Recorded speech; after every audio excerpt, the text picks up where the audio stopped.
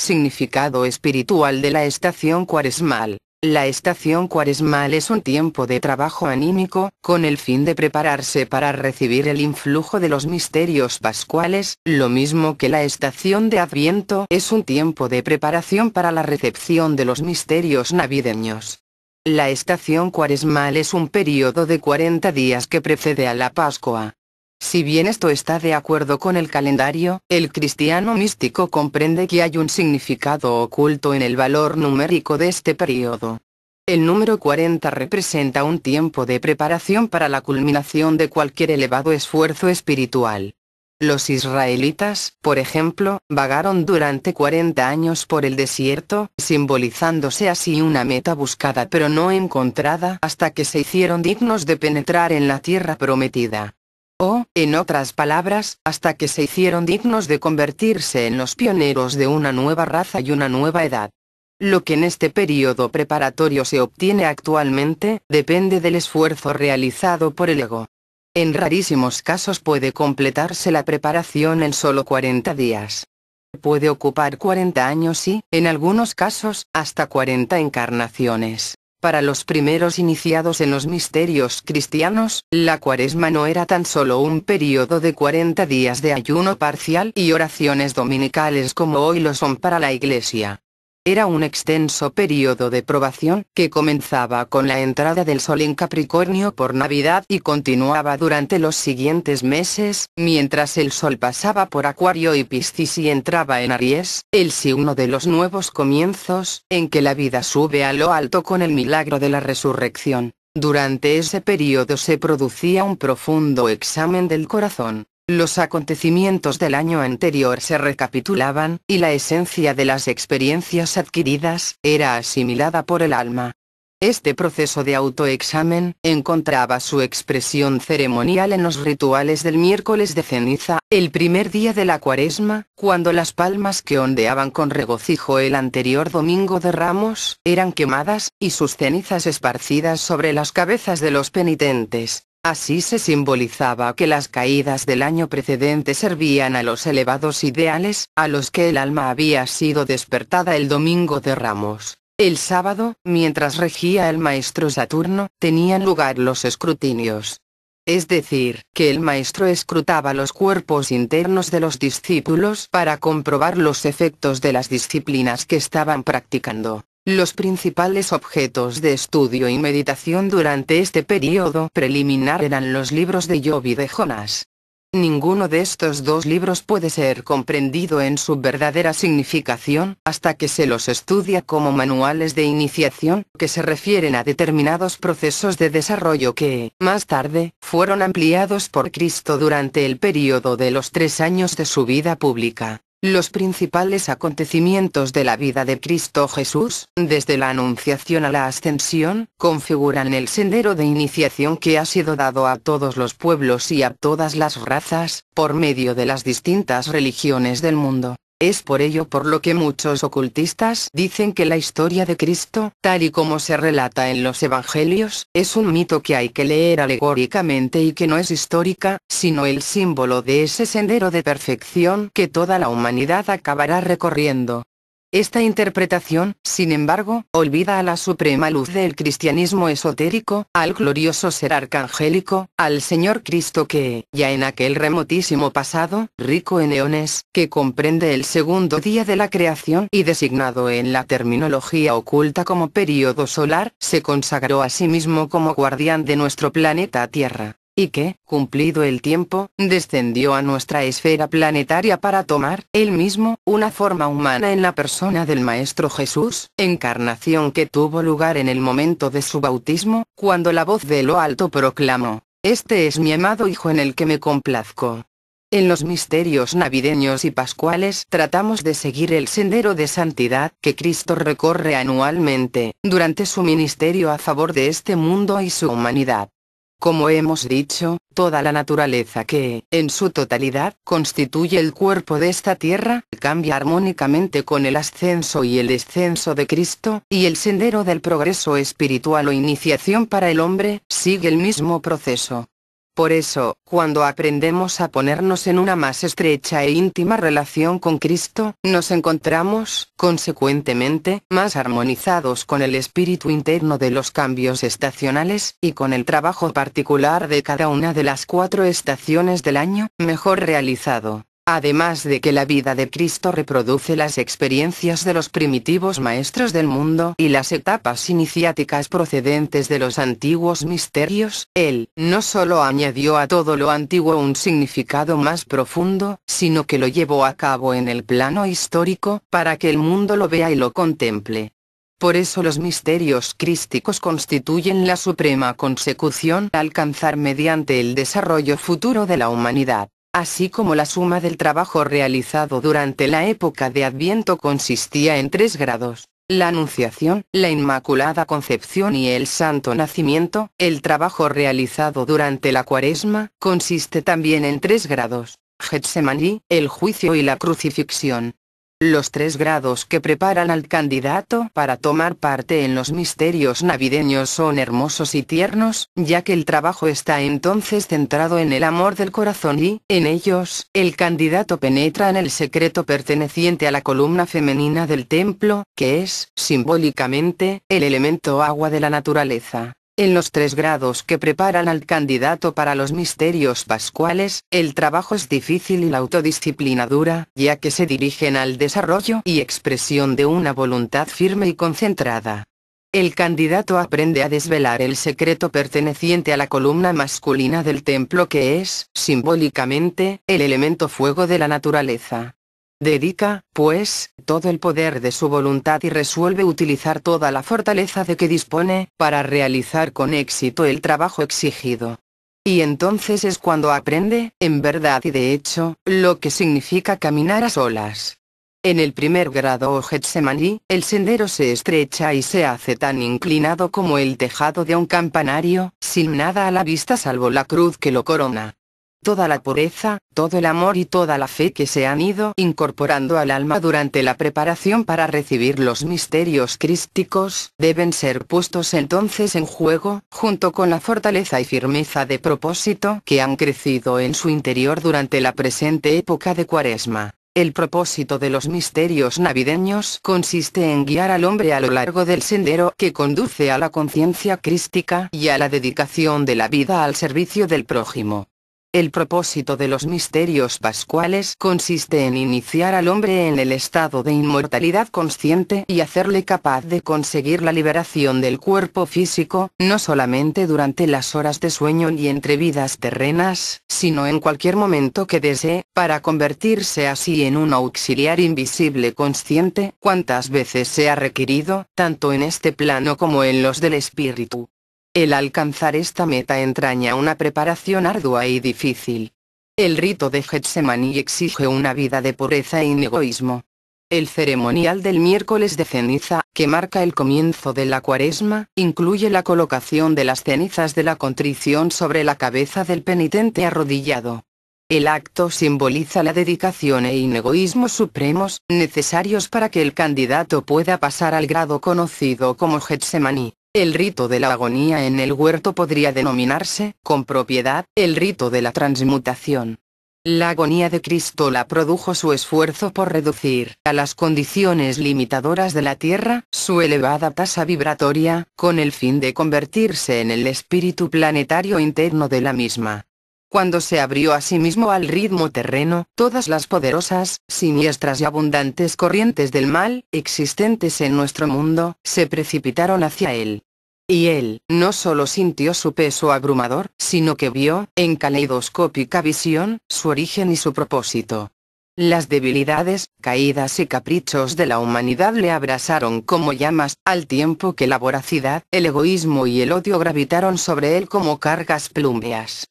El dolor, la angustia y el sufrimiento causados por las malas acciones de los hombres le hirieron hasta lo más profundo de su dulce y compasivo corazón. El límite de la agonía, incluso para un arcángel, se precipitó sobre él cuando pasaron ante su visión las imágenes del futuro, y vio cuán pocos, de entre las inmensas multitudes que constituyen la humanidad, reconocerían el verdadero significado de su venida y el objetivo real al que apuntaba.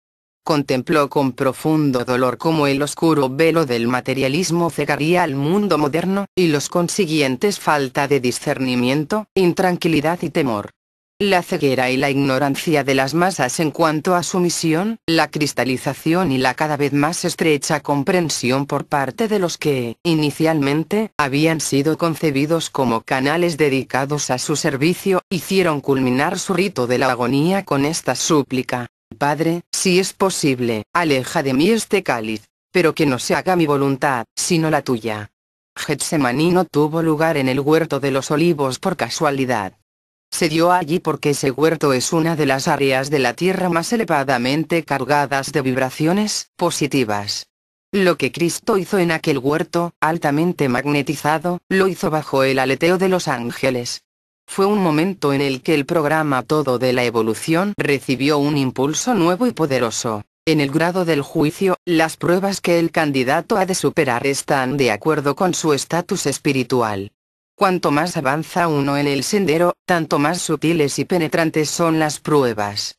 Ninguna podría compararse en severidad con las sufridas por Cristo Jesús, ya que nadie posee su fortaleza y su poder espirituales. Una vez más, en el grado del juicio, el candidato comprueba la inmensa importancia de su largo entrenamiento en el inegoísmo. Si no se ha realizado apropiadamente el trabajo preparatorio, no se tendrá éxito al pretender pasar este importante grado. Pocos han sido capaces de caminar a lo largo de su largo y estrecho sendero. En un inspirado manual se dice, al referirse a este elevado trabajo, antes de que los oídos puedan oír, han de haber perdido su sensibilidad. Antes de que la lengua pueda hablar en presencia del maestro, ha de haber perdido su poder de herir. Antes de que los pies puedan permanecer en presencia del maestro, han de haber sido lavados con la sangre del corazón. El último o tercer grado que conduce a la liberación, es el de la crucifixión. En este grado, el candidato se encuentra frente a uno de los más sagrados misterios, y que ha de permanecer por siempre sellado para el profano. Su significado secreto puede solo ser aludido brevemente aquí. Su propósito interno y verdadero solo puede ser revelado a aquellos que buscan y encuentran la luz en su propio interior, esa llama del gran amor blanco que excede a toda comprensión. Ha habido algunos que han alcanzado este punto avanzado del sendero y se han vuelto atrás, no teniendo suficiente fortaleza para seguir adelante, con Cristo, camino del Golgota. Otros, han llegado a ser clavados en la cruz, y han fallado, porque no han podido soportar que la cruz se irguiera. Estrecho es el sendero y sutiles son las pruebas hasta el mismo final. Los estigmas en las manos, pies y cabeza están en la misma posición relativa que los extremos de la estrella de cinco puntas. Los cinco clavos son los cinco sentidos que atan al espíritu a la cruz del cuerpo físico. Platón dice, cada placer y cada dolor son una especie de clavo que une el alma al cuerpo. El espíritu está muy íntimamente ligado a la forma por los cinco sentidos y, en esos puntos, el poder del fuego espiritual ha de ser muy potente. La extracción de los clavos de esos puntos, produce las cinco llagas sagradas. El padecimiento lo produce el ascenso del fuego creador a lo largo del triple cordón espinal. Cuando ascendido durante cierto tiempo, Neptuno enciende el fuego espinal espiritual. Este fuego hace vibrar las glándulas pineal y pituitaria en la cabeza y, cuando la onda vibratoria golpea el seno frontal, despierta la vida los nervios craneales o corona de espinas. Más tarde, la corona de espinas se convierte en un halo luminoso, y la túnica escarlata se transforma en otra de púrpura real. Cuando el Espíritu de Cristo quedó liberado del cuerpo de Jesús y pasó al centro de la tierra, su alma inmensa empapó el globo entero de una incomparable brillantez, tan intensa que la luz del sol a su lado pareció oscura. Cada sacrificio comporta su compensación espiritual. Todo hombre que muere en el campo de batalla, por cualquier causa que considera más importante que él mismo, renace en un nivel superior de conciencia. El estatus evolutivo del ego avanza cuando la sangre, que es su vehículo directo, se limpia de impurezas fluyendo del cuerpo en el momento de morir. Todo ego, durante sus amplísimos ciclos de peregrinaje terrenal, vive, por lo menos, una vida en la que el espíritu abandona el cuerpo mientras la sangre fluye. Cristo, mediante su sacrificio en la cruz, fue elevado a las grandes iniciaciones que pertenecen al reino del Padre. El candidato victorioso, que sigue a Cristo hasta el final del camino, llega a la gloria de la gran liberación. Entonces es ya libre de pasar, a voluntad, del plano físico a los reinos espirituales. La corona de espinas se convierte en un halo de luz, ya que ha conquistado el más grande de los dones de la vida, la inmortalidad consciente. Pasando triunfalmente a los planos internos, se une a las blancas multitudes que rodean a Cristo y que elevan sus voces entonando el eco de las palabras pronunciadas por el Maestro en el momento de su gran liberación. Dios mío, Dios mío, ¿cómo me has glorificado? El victorioso, pues, conoce entonces toda la gloria de la alborada de su propia resurrección. El esoterismo de la Pascua. Las profundas radiaciones espirituales de la época de Pascua producen una aceleración de los impulsos espirituales, incluso en los ignorantes y despreocupados, mientras que los que comprenden algo de su profunda importancia, prestan reverente atención a su íntima contemplación. Contemplando un calendario, se aprecia una diferencia entre la observancia de la Navidad y la de la Pascua. El festival navideño tiene siempre lugar en una fecha fija, mientras que la Pascua cae, a veces, tan temprana como mediados de marzo y, a veces, tan tardía como mediados de abril.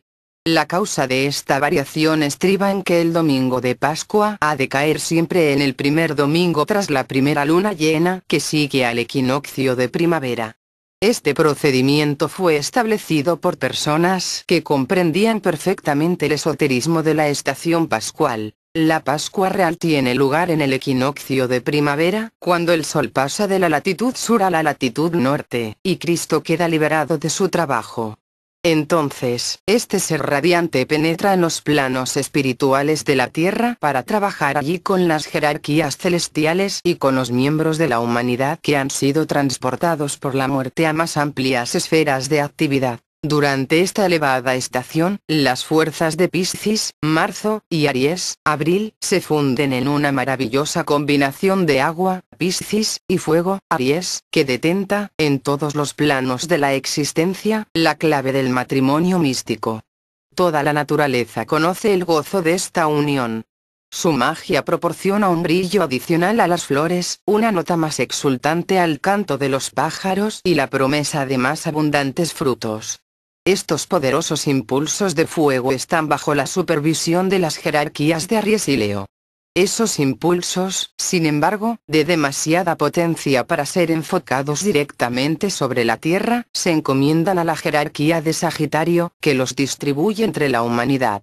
Las grandes aguas de vida de esta mística unión están bajo la guía de la jerarquía de cáncer, los querubines, que entregan esas fuerzas a las jerarquías de Escorpio y Piscis quienes, a su vez, las dispersan sobre la tierra. Era para esta época del equinoccio de primavera para cuando los antiguos, que comprendían estas verdades del mundo interno, establecieron elaborados rituales relativos a la fusión del fuego y el agua.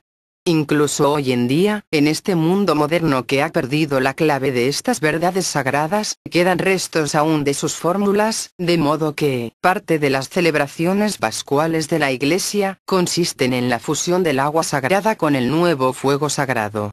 En la apropiada unión de estas dos fuerzas es donde hay que buscar la clave de la transmutación.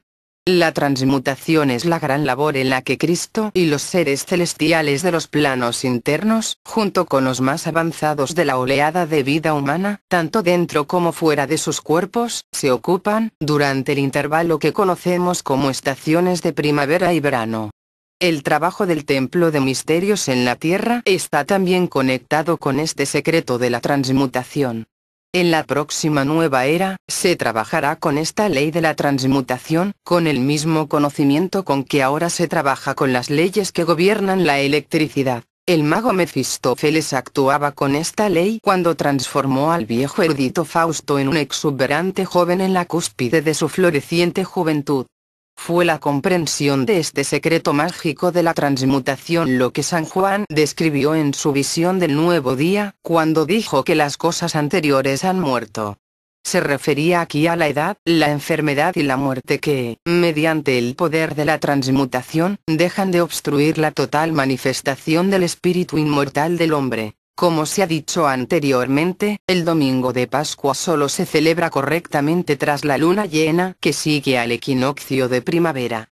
La Pascua se celebra en domingo, que es el día del sol, y el sol es el hogar del Cristo arcangélico. La proyección sobre la tierra de los poderosos rayos espirituales del sol, el domingo, proporciona al hombre mayor impulso vibratorio que cualquier otro día de la semana. Según los anales de las antiguas escuelas de misterios cristianas, sus más elevadas revelaciones y sus más extáticas visiones las recibieron siempre el domingo. Las jerarquías antes referidas, que diseminan este poderoso impulso transmutador sobre la Tierra, lo dirigen hacia el Sol bajo la guía del Espíritu Solar, el Cristo.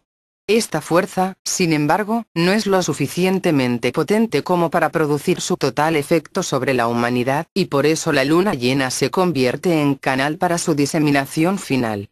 Por esta causa, la humanidad, en su conjunto, ignora este gran influjo que nosotros conocemos como la celebración de la marea de Pascual, hasta que la luna llena tiene lugar después del equinoccio de primavera. La gran masa de la humanidad continúa respondiendo ampliamente a este influjo como a una tendencia instintiva o un deseo de participar en alguna reunión espiritual.